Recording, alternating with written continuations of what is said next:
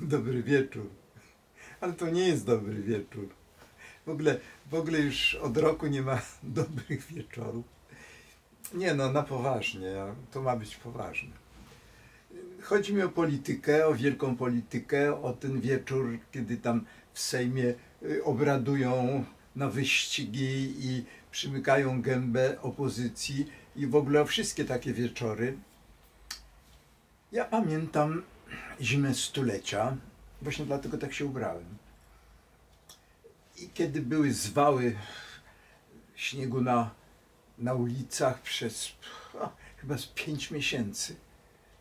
No a dzisiaj będą zwały ustaw, zwały zakazów, nakazów, yy, a cholera wie czego.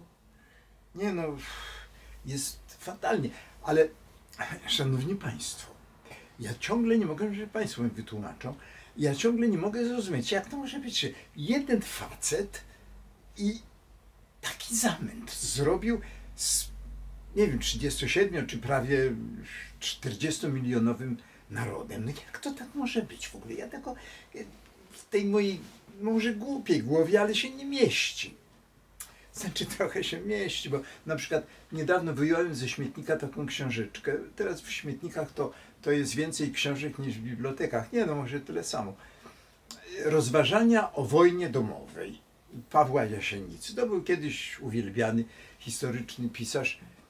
No, napisał to w 69 roku, a wyszło w 85 roku. Jest to rzecz genialna wziąłem się, bo ja strasznie lubię tak czegoś się dowiedzieć na nowo, czegoś, o czym dobrze nie wiedziałem. To jest w gruncie rzeczy o powstaniu w Vendée. Vendée to jest, było we Francji i to powstanie było w 1794 roku.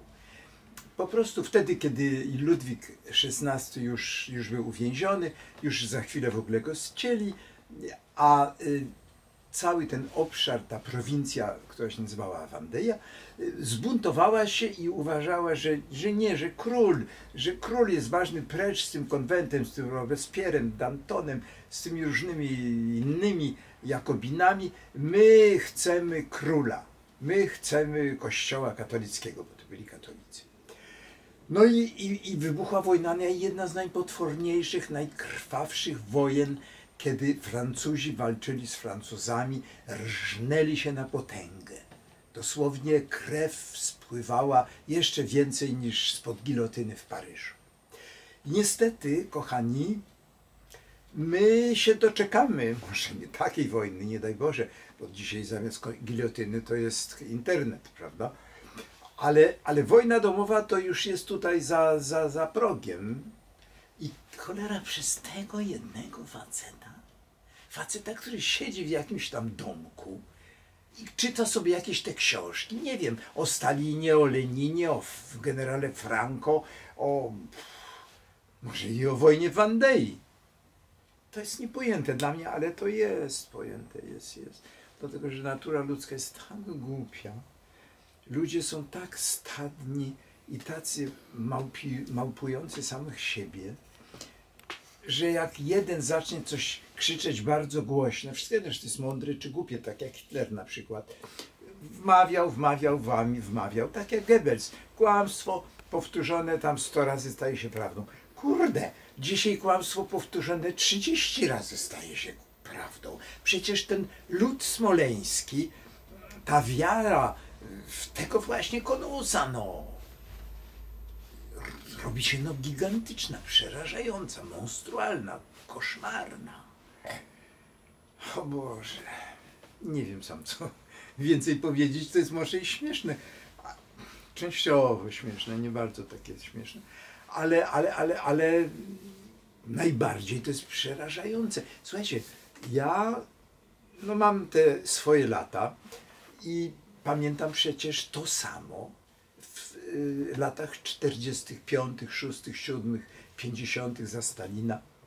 Chciałem coś powiedzieć, taką, no wydaje mi się, że nie głupią uwagę, że to nie historia się powtarza, tylko kiedy powtarzają się sytuacje, mam na myśli walki o władzę, bo przecież ten facet, tak jak Robespierre, Robespierre był uczciwym facetem, kochanym kumplem dla tych różnych innych Jakobinów. On nie brał łapówek, on y, nie załatwiał niczego kolesiowsko. Kolesiowsko? Tak, no kolesiowsko. Y, Był no po prostu czysty, czysty umówiło się. Tylko, że on kochał władzę.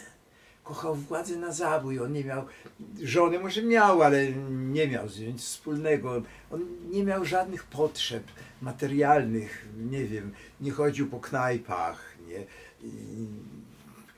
no nie miał, nie, nie ubierał się specjalnie, chociaż cholera nie, zdaje się, że on się lubił ubrać. Tak, tak, on się lubił ubrać. Ale pewnie krawcy sami mu za darmo to wszystko robili.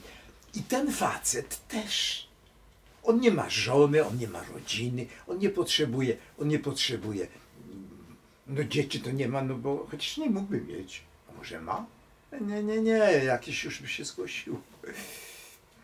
I, I on tylko kocha władzę. Władzę. To jest potworne, to jest niebezpieczne. Oni wszyscy, Stalin miał żonę, znaczy miał żonę, ale ją zastrzelił.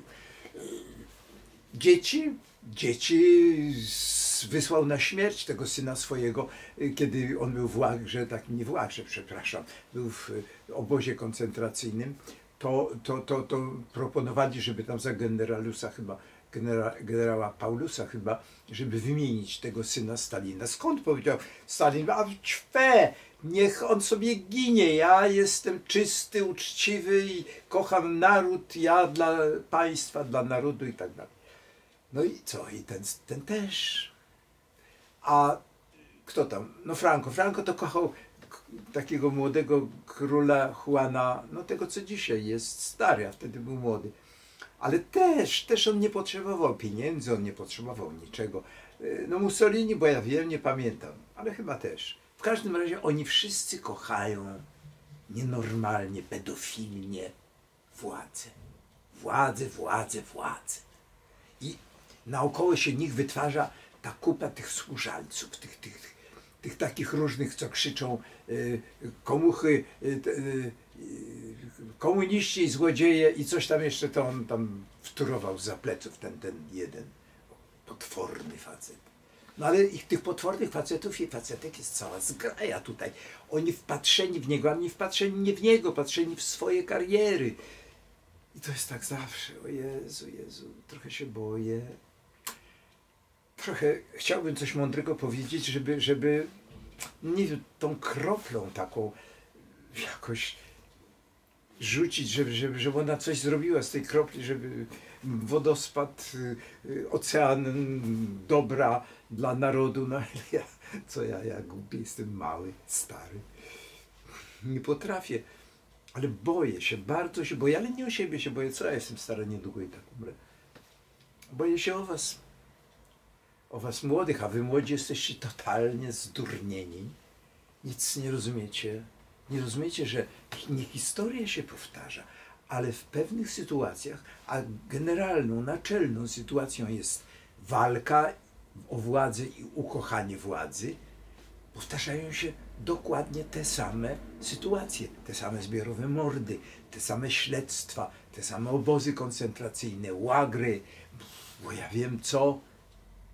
Oczywiście, że dzisiaj to coś się zmieniło. Łagrów może nie będzie, ale to niewykluczone. Kiedy pomyśleć, ile mordów ludzie na ludziach wykonali, Anglicy, to ja się tak powtarzam, ale nienawidzę Anglików. Oni zaczęli obozy koncentracyjne, a Kongo belgijskie, ten potwornie ogromny obszar we własności tego Leopolda, króla Leopolda, prywatna własność, z, morze otchłań, męki, nieszczęścia tych nieszczęsnych obywateli, tych nieszczęsnych murzynów z tego Konga. A łagry, 20 milionów w łagrach, a w obozach koncentracyjnych choćby 1 milion w Auschwitz, ale 6 milionów Żydów zagazowanych, a tyleż samo zdaje się Polaków. I to wszystko są ludzie ludziom. Ja miałem w szkole taką książkę jako lekturę naukowskiej Zofii. Ludzie ludziom zgotowali ten los. I to jest nieprawdopodobne. I my jesteśmy tacy sami jak tamci, którzy służyli Stalinowi, którzy, którzy bali się y, Dzierżyńskiego, a potem Jagody, y, a potem nie pamiętam, który tam już był następny. Bali się i służyli. I dzisiaj też to, to się coraz szerzej będzie rozszerzać. Ci, ci ta kohorta, ta, ta, ta watacha naokoło tego gnoma będzie miała swoje rodziny, swoich kuzynów. Ci kuzyni będą mieli swoich kolegów, ci koledzy będą mieli swoich kolegów. To się będzie rozszerzało. Każdy kapnie z tej władzy, z dobra tej władzy. Koledze, koledze kolegi, kolegi kolegi. I to będzie się rozszerzało. Ja pamiętam, 35 mili- 30,5 miliona PZPR-owców było na kiedy, ile tam było wtedy Polaków? Nie wiem, czy było 30 milionów wszystkiego. Jak to 10%? I pomyślmy, że za chwilę już, już w tych spółkach Skarbu Państwa, w samorządach, w tych różnych gównach, ale bardzo intratnych, już się pełno tam usadziło wiernych pretorian tego gnoma. A co będzie? Będzie coraz bardziej, to się coraz bardziej będzie rozszerzało, rozszerzało, rozszerzało. Masz mam nadzieję pierdolnie. Pierdolnie ze smrodem i hukiem. I oto się módlmy, kochani. Módlmy się, jestem niewierzący, kompletnie ateista jestem. Ale módlmy się, módlmy, módlmy. Boziu, kochana, której nie ma. Spójrz na ten nasz biedny, głupi, oczadzony naród i oprzytomnij go. A Boziu, hej naród.